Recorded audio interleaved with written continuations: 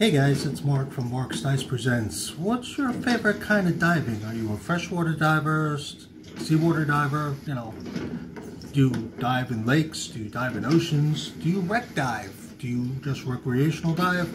Or are you like me, whereby you're really into vintage dive gear? Let me know. Leave a comment below, and if you like this video, share it out.